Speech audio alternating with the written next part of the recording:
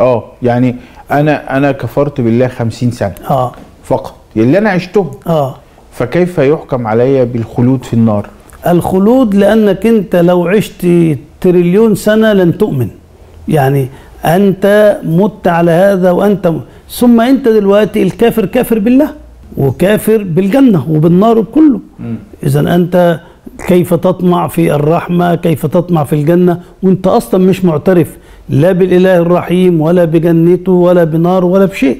فهنا شوف أنا قلت مرة كلمة العقاب يوم القيامة على القصود المستكنة في النفس. القصود المستكنة. آه القصد إيه؟ النية إيه؟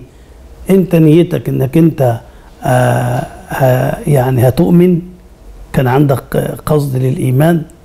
الشيخ محمد عبده يرى أن قوله تعالى فمن يعمل مثقال ذرة خيرا يره ومن يعمل مثقال ذرة شرا يره يقول هذا ينطبق حتى على الكافر ينطبق حتى على الكافر حتى على الكافر منين قال هذا الأخذ من العموم مم. من يعمل مم. مثقال ذرة خيرا لم. يخصص آه، لم يخص- المسلمين أو بالظبط. المؤمنين أو فأخذ بهذا العموم ويرى أن الإنسان غير المؤمن إذا عمل خيرا في الدنيا فسوف يرى خيرا في الآخرة.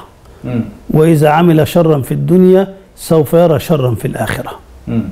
بكلام محمد عبده انحلت المشكلة طيب